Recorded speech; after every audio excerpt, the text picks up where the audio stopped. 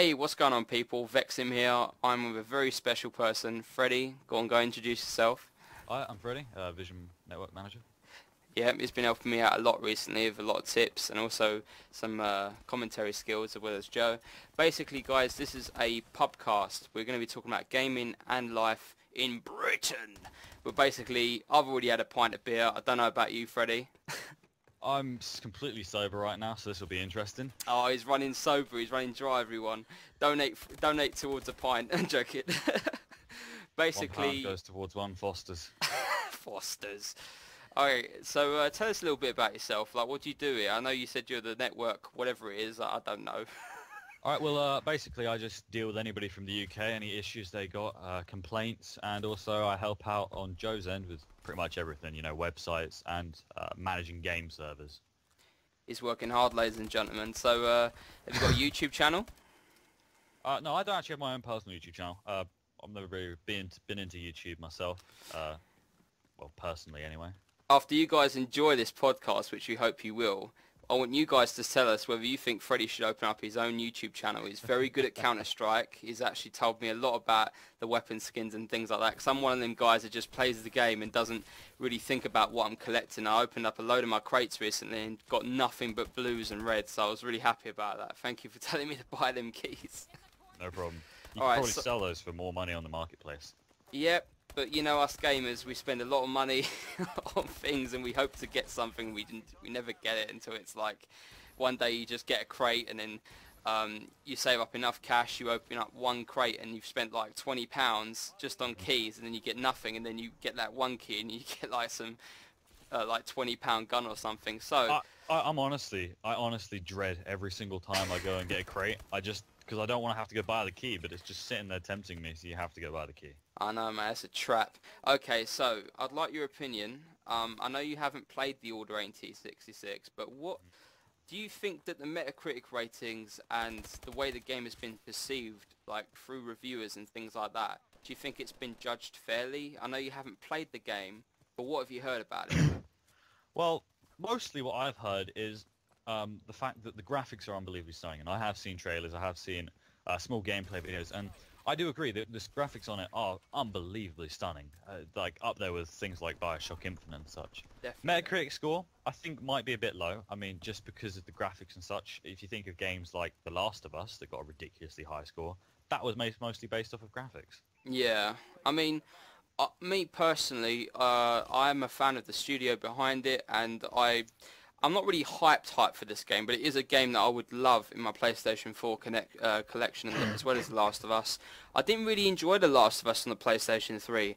I played it all the way through, but it was just such a drag for me. I know I'm going to get a bit of flack for that, but I'm a big Uncharted guy, and um, I love the old school stuff like Crash Bandicoot. So, I mean, The Last of Us, some, sometimes a developer, even though the game is a really good game perceived by other people, sometimes even when you're a fan like me, it just it doesn't really click that well. But basically, um, I'm going to be getting the PlayStation 4 soon. Do you have a PlayStation 4, Freddie? Uh, no, I'm an Xbox guy myself. Oh, definitely got the best of both worlds in here. Um, Yeah. So, what you been playing lately? Well, recently I've really, really been getting back into CS:GO, but uh, hard times, hard times, competitive matches, you just get stuck on one level and can't move off of it. But uh, as usual, Minecraft, can't get away from it. Yeah, you also do the um, you look after the Minecraft service Vision, right? Yeah, I make them, I run them, I develop them. A lot of hard work there, people. So, um, I've been playing CS:GO as well recently. I opened up, uh, I think, two chroma uh, crates. I got a white, unfortunately. I got, I think, it a Ah. magma, uh, one of the light machine guns, and I was just like, eh, it's cool though. But um, I was actually playing competitive yesterday. I got about like in one match. I know this doesn't sound amazing. You probably smashed me at that game, but I got like four or five kills, um, all in the same round, and I was really happy about that. I didn't even have to camp for it. I would just, I just flanked them like right and you know in office.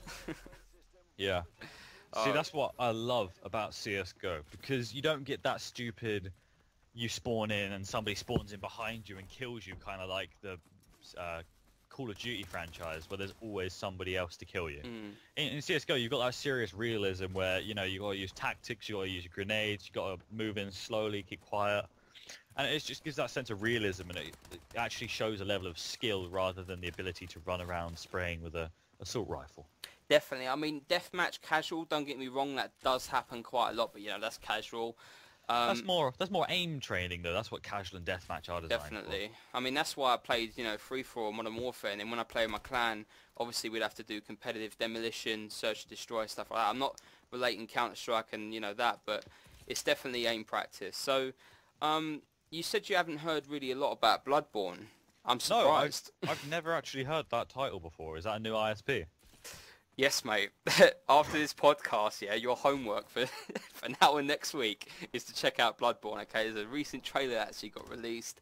Um, basically, I, f- I believe it's the director of uh, Demon Souls. I've platinum Demon Souls and uh, Dark Souls. Fantastic titles. Uh, you've played.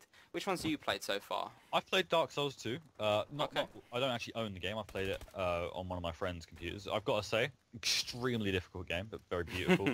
yeah. I, it's all in the gameplay, mate. Really, I mean that's why I play it.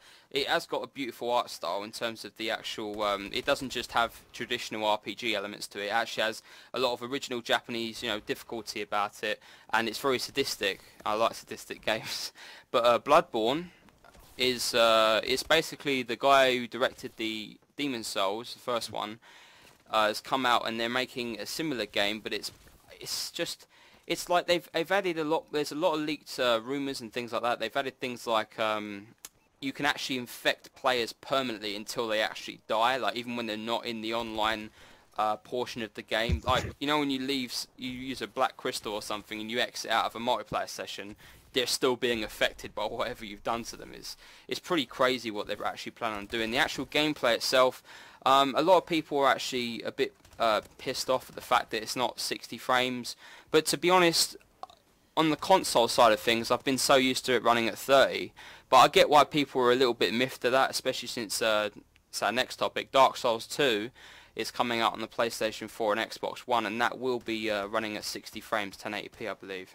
Well, my my uh, views towards people that complain about having like not 60 frames per second you are paying for a box that can provide you a service of high graphics, high speed, high function. 30 frames per second is still pretty good, especially considering the huge graphics uh, that many games of these this day and age require. You are paying for uh, a console, okay? It's it's a compact PC. You're going to get what you paid for. If you want to be playing in 60 frames per second, either get a PC or a Mac, because some Macs do run 60 frames per second, believe it or not. But don't get a console if you're you're looking for high graphics and high speeds. It's just not going to happen. Definitely. Um, and with the Bloodborne, uh, I'm looking at some screenshots right now, and I've got to say it's, it's visually stunning. Mm. Um, but like I said before, I'm not I'm not a big visuals person. I never got into The Last of Us because of the fact it was just so many graphics and so linear.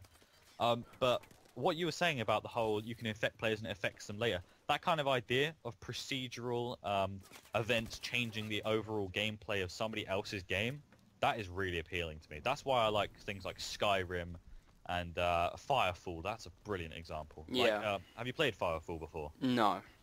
So it's it's basically a free-to-play game where um, you have to kill these kind of alien creatures. But the thing is, the more you kill, is the more the map unlocks for other players, and you can actually rescue other players' cities that have been like cut off from the capital. And it, it's all real time um, war basically, and you have to fight AI, and it, it's it's really really good looking game. I'll have um, to check that out. Yeah, so it kind of reminds me of the features like that, where you can just affect somebody else's gameplay in such huge ways. That is an appealing idea to me.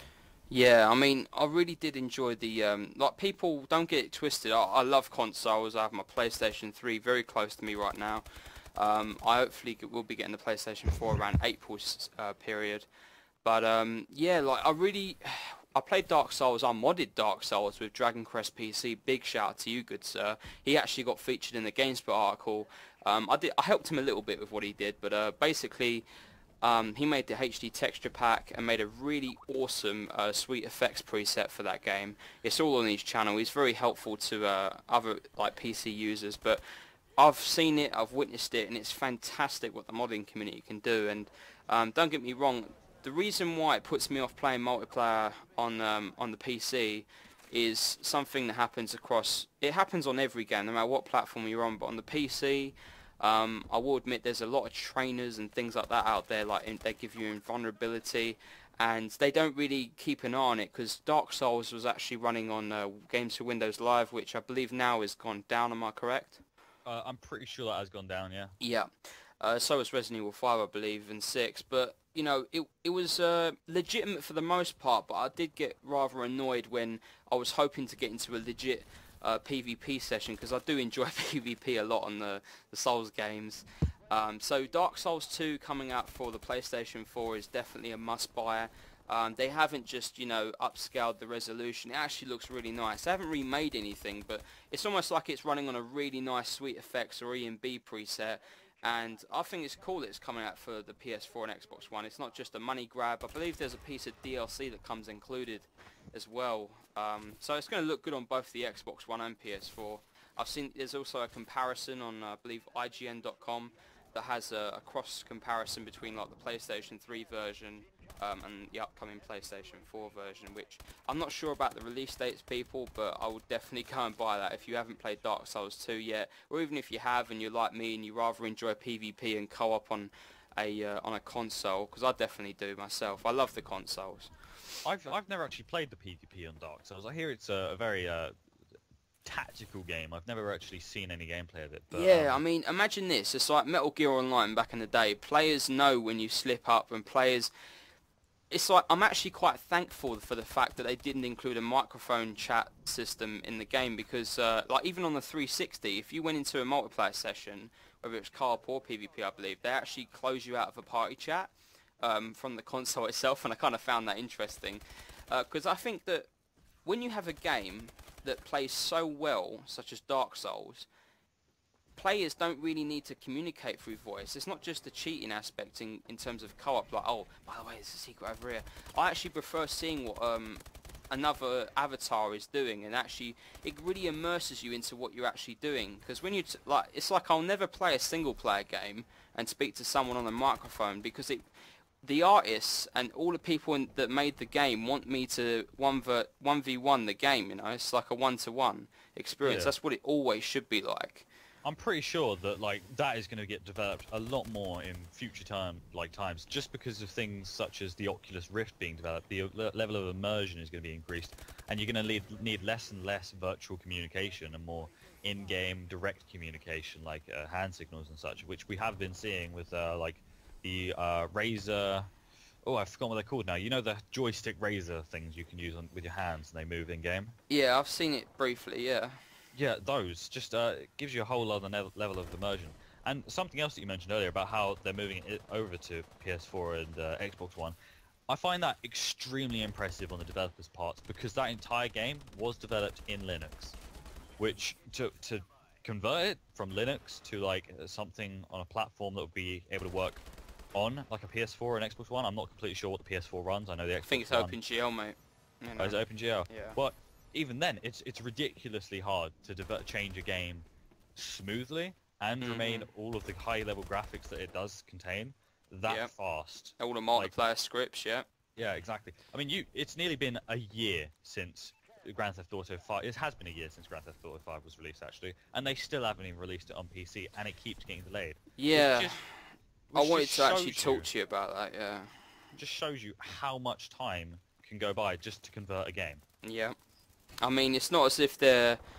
I mean, I'm, I'm glad that they're not rushing it. I was a bit annoyed uh, the last, you know, delay that happened, which was recently, because honestly, I was playing it at my friend's place on his 360, and I loved the game. I think, I'll, you know, when I played Max Payne 3, which is another Rockstar title, if you guys haven't played that, make sure you go and play it. Doesn't matter what the platform is, hopefully on PC. But when I played that on uh, PlayStation 3 originally, I think it was running at like 720p, and then I played it on the PC, and back then I was running uh, 460s and SLI. It was a lot better. It was like a whole new game and they did such a good job on the PC version of uh, Max Payne 3.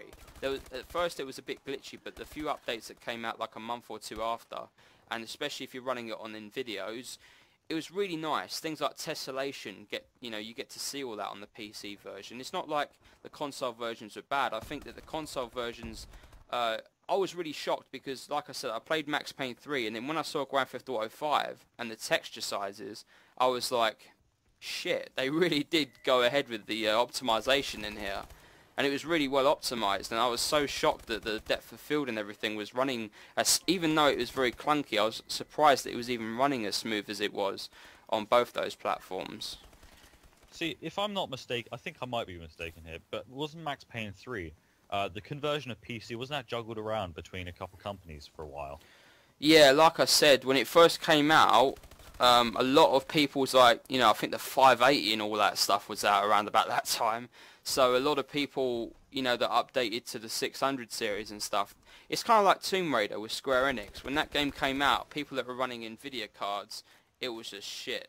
It was terrible. You know, people were running 680s they were getting 40 frames a second with TressFX turn off and things like that. So it took a little while, but once they they um they you know they did that, it runs really well. Like if you play it right now, it's, it's gorgeous. So I understand why they delayed it. Definitely, Grand Theft Auto 5. Um, uh, the first person feature they've just added to Grand Theft Auto 5, that hugely impresses me. Um, because uh, I think that uh, they are adding Oculus Rift support for the game when it comes out on PC. Jesus. So it looks almost realistic if you put a headset on. And I'm kind of scared where it gets to that point where games are so good looking where you might forget you're in an Oculus Rift. Yeah, I mean, it's like I did games cultures at uh, London South Bank University, and I left it after a year. But what I did learn is, um, like, I think a lot of games are losing their narrative structure. Like, there's games games like Rayman Origins and things like that, and then there's the Order, Order 1866 where things are just getting a bit. It's not the realism in the graphics. It's it's more like the realism in the story. It's it's getting a little bit lame, you know. Mm-hmm. So it's it's uh it's lacking. I think it's it's mostly because of how linear it is. Mm. With really, really successful games, you tend to find that they have something so different that it makes the, the level of immersion not like a, hey, this game seems realistic, but almost like a, wow, this is like a fantasy dream that I could actually imagine existing. Uh, which which is partly reason that games such as like Fallout um, and uh, Borderlands, those games were so successful because you know Fallout nobody had ever seen an environment like that before, and with the Borderlands, again, it was just an environment that nobody had seen before, and the, the, the storyline and the graphics they weren't they weren't realistic, but they, they had that sense of realism about them, you know, Mm. Which which gave the uh, the players just so much more immersion, so much more more gameplay um, for themselves to like enjoy, rather than games like the Order 1886 where they're just focusing on, hey guys, we've made this good looking game, come play it. Yeah, I mean, I, I think it's. Uh, I think the whole five hours thing was a bit crazy. I mean, I think it, it came out um, that the guy that was playing it was actually uh, either speedrunning it or playing it on easy mode. Which, I, I mean, I wasn't really bothered about the length of the game. I mean, it's like going to a movie. Would you rather see, even though Lord of the Rings is a fantastic movie franchise, um, I'd much rather see like, you know, a Will Smith movie or something that's like just over an hour long and you just it's a great experience from start to finish. I'm one of them kind of people, but I do appreciate a long running film, you know. Yeah, um, I'm personally, I think like you get what you pay for, right? Mm. You have to think of it on their end, okay? Think of the graphics, how long it's taken to make that game, what's cost to make that game, and and then wh- if you enjoy it, well, there you are, money well spent. If you're one of those grumpy people that are like, oh my god, I didn't have enough enjoyment with that, I didn't, I paid so much money for that. Well, then should have looked up reviews, should have seen the game beforehand. You know, it, it's it's your own fault. Don't complain about the length of the game if if uh, it's too expensive for you anyway. It's it's your choice, man. You know, Yeah. complain about it. I mean, it's like back in the day, the you know the developers you couldn't really show us graphics that much. They, you know, like Final Fantasy six to Final Fantasy seven. You know, fair enough, they went uh, into a 3D, um, you know, like Super Mario and stuff. They they went into uh, the 3D dimension and everything changed, but the games were still like uh, really long for what you know. You can you can either complete that game in like 30 hours, or you can actually grind it out and spend 60 to 100 hours. And I kind of like that, but it's really hard to do that nowadays with today's games and the way the technology is running. You know. Yeah. Um, another thing that causes the gameplay just to get shorter and shorter and shorter is the fact that games are becoming longer and longer and longer to make. Yeah. Like, you see certain uh, developer companies uh, that are smaller franchises making longer and better games because generally they're not as complicated as more expensive games like what Rockstar are producing, or uh, companies like uh, 2K. 2K have been producing a lot of games. But if if you compare them to something like Telltale, brilliant games, absolutely unbelievable. I would buy every single Telltale game if I could. But it's mostly down to the fact that they're they're cheap, easy, and quick to make, and th- they're really immersive, and you can just get in and enjoy them. Mm, definitely. And I think um, I think the value, um, I, I don't know. It's almost like if these games came out like before the PlayStation 3 did, I think people wouldn't have complained as much. But we live in a generation where, um, and it's there is good points to it. I mean, it's like when Microsoft was going to release, you know, the, they have released the Xbox One, but when they first released the console and you know they had the E3 performances, it just goes to show like how much things can change just for an opinion of a lot of people. Um, which it's weird because back in the day, like with the Nintendo Gold Seal of Approval and things like that on their exclusive games, and Nintendo still makes absolutely fantastic first-party exclusives, in my opinion. Um, you know, back in the day, you'd buy a Sony TV. You couldn't really go online and moan and stuff. You had to rely on buying it and bringing it back home, and it worked. And um, even though Skyrim is a very good game, I wasn't very happy uh, when I had a place. Well, when I was playing on my PlayStation 3 a lot more, that they released the game so not only not optimized, but some of my friends like you jump in the water and then the whole game would be frozen. And even though they blame the hardware, which I didn't understand because games like Infamous, uh, you know, Infamous 2 uh, look fantastic and had the same kind of level of geometry. I didn't really understand why they, you know, still went went ahead and released it. I wasn't very happy. Well, you know, when it comes down to stuff like that, I mean, Bethesda, I'm, I'm ashamed to say it because they are my favorite developer company, but they they had a huge part in the. They, they basically made most of Skyrim. I mean, they had help from other companies, of course, because a lot of the graphics engine wasn't done by them. But um, Bethesda, uh, basically, when they optimize their games, I they kind of do it for the cash, okay? Hmm. And it's kind of bad to say, but Skyrim was one of their like big saving products. If it wasn't for Skyrim, they probably wouldn't be developing as many games as they are to today. Um, Yep. And the fact is, they are a PC company. They design their games for PC. Uh, I don't think they've ever made a console exclusive. I don't think they're intending to. But you know, there are different parts of the companies that do, do this optimization, and it kind of annoys me when people do go ranting on complaining about optimization when the bottom line is it's not the company's fault. It's just that section of the company. You know? Yeah.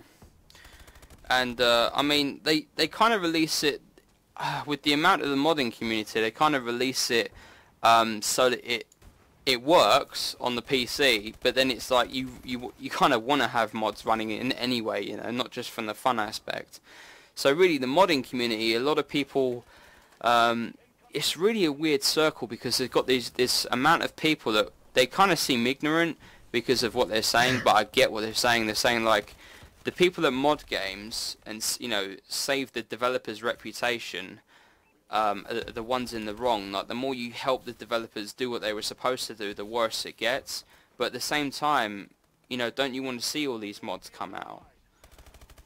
Well, yeah. I mean, modding is something that is growing hugely, especially with things like Steam Workshop. That has hugely opened up the uh, the modding community. Yeah. I mean, if if you look at like games like Fallout or uh, I think TF2 is pretty big for the modding community because not only are modders now being rewarded for making stuff, because you actually get paid for making the, Yep. uh, workshop items and such. Oh, Garry's mod, that's the biggest one.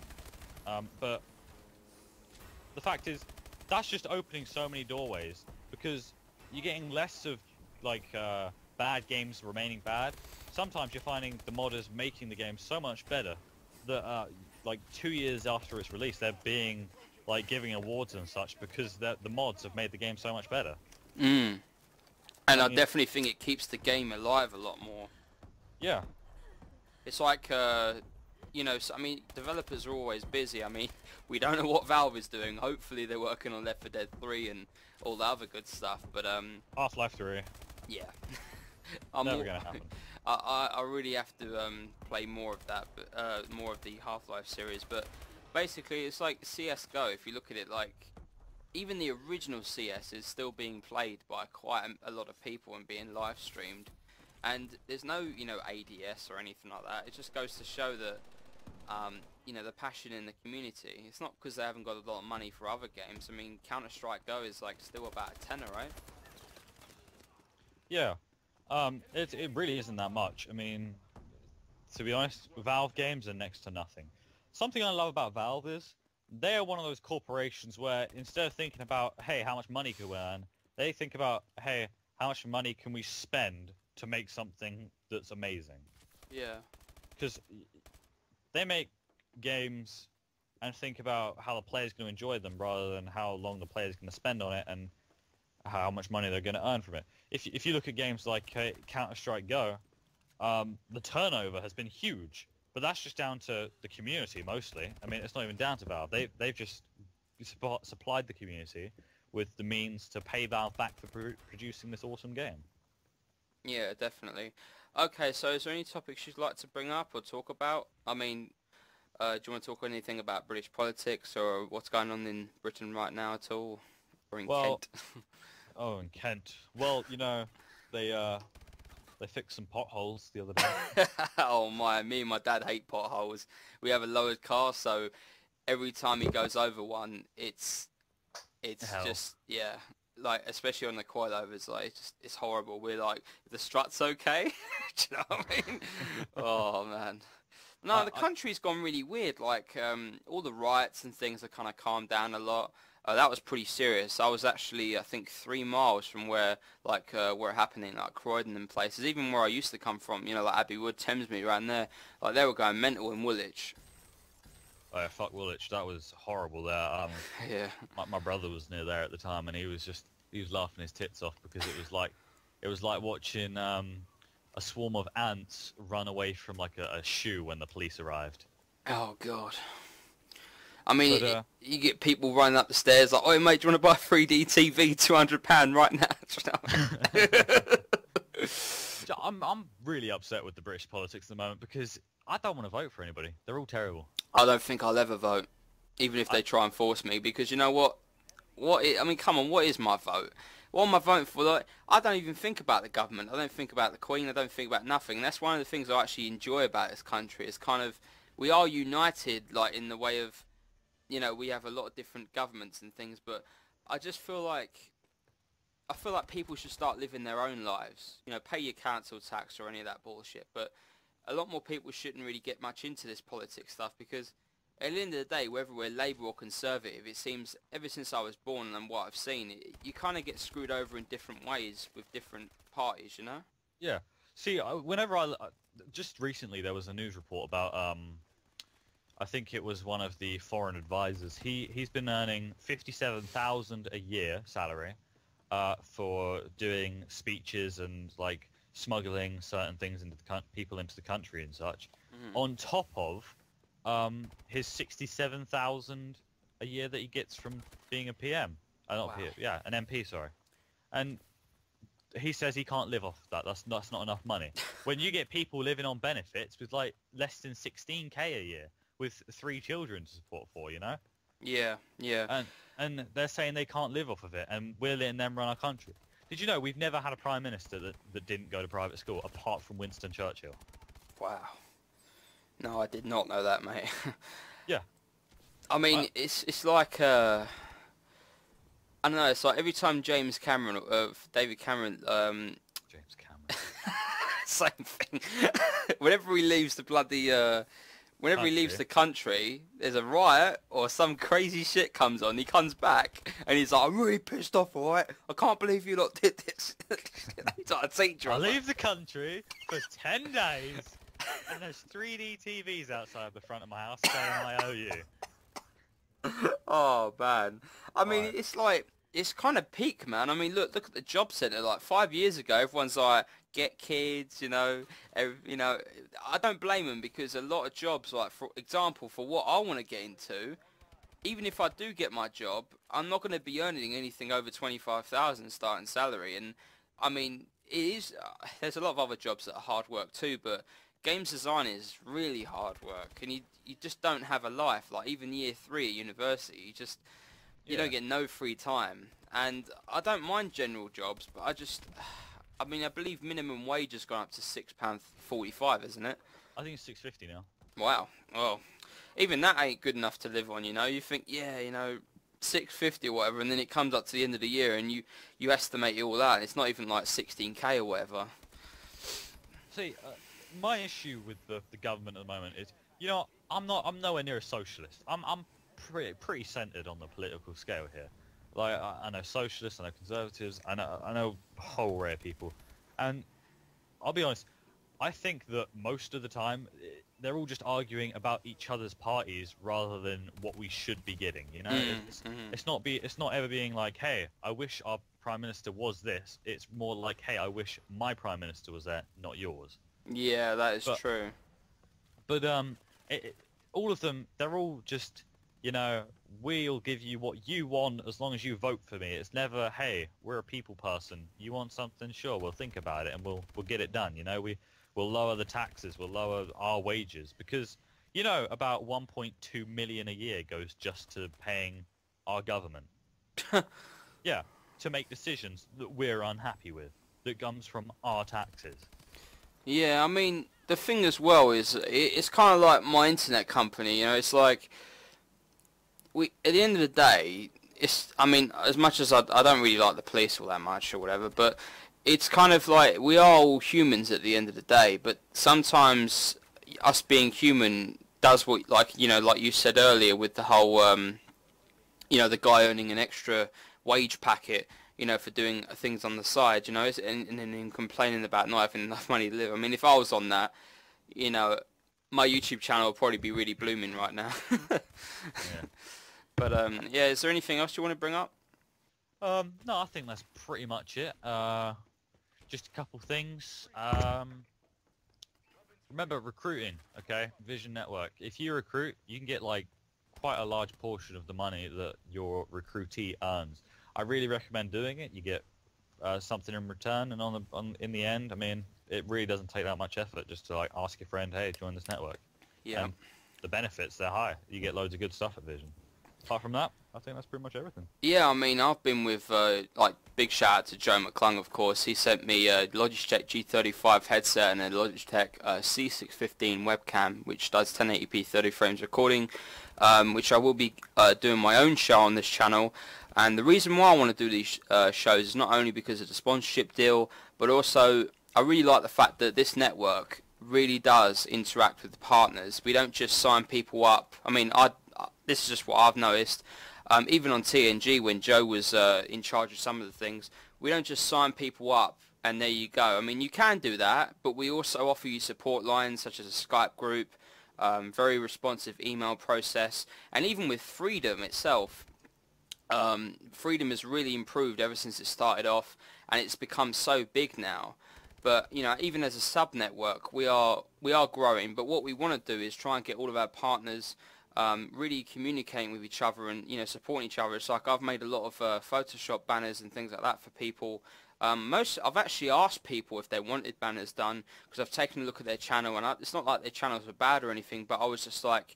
I was just trying to help them in the way of, you know, if you do all this and get all your thumbnails looking like this and, you know, all, all, con, um, all very similar, it would look like your own brand and I really like helping people, you know, when I, especially when I'm not making videos myself, that's what I'm normally doing. That's what I like about Vision, it's all, it's all, it's like one big family. Yeah.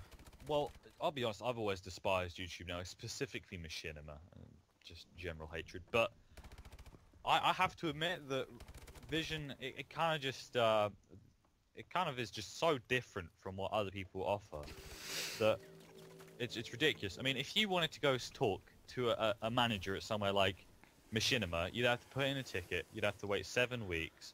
You'd have to contact like staff members first and arrange a meeting, yada yada yada. With Vision, you just go on Skype chat, ask for a manager. Ten minutes later, you got a manager and you call answering your issues directly, and they can sort shit out like instantaneously.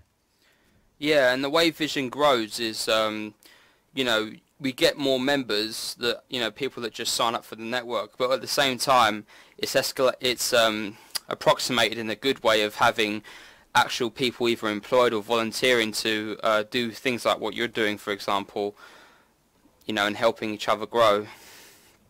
You know, we don't just get just get members in and keep the same amount of staff. You know. Because I, I noticed with a, quite a lot of networks, and some quite close to us that I won't name any names. Um, but they tend to just be like, "Hey, we'll give you all this cool shit if you just join us," and they're all about getting people to join, but they never really keep their promises once you're in the network. They just kind of ignore you and let you fester whilst you sit there earning barely anything and having issues that you you just can't get answered because the support's too low. You know. Yeah. Okay, well, I hope you guys did enjoy this podcast. Uh, this is our first podcast, so, you know, we will be improving each week. I'm not sure about the exact day of the week that we'll be doing it. We're British, we're wild, we're crazy, we're, we're drunk, we're tea and crumpets, whatever stereotype you give us. but I hope you did enjoy this show. Uh, do you want to shout yourself out, Freddie? Uh, yeah, just uh, like, comment, subscribe on this video because it helps me in the long term. Um, and remember, if you've got any topics that you would like us to talk about or discuss in the next episode, just leave them in the comments below. And uh, remember to subscribe to Vexium. Remember to subscribe to uh, any links in the description that we put that we might have mentioned in the podcast. And uh, have a good day. Yep. Thank you for watching, people. Peace out. Peace.